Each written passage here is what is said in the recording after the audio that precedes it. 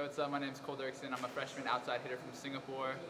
Um, I came to Vassar for the super liberal environment and the awesome academics.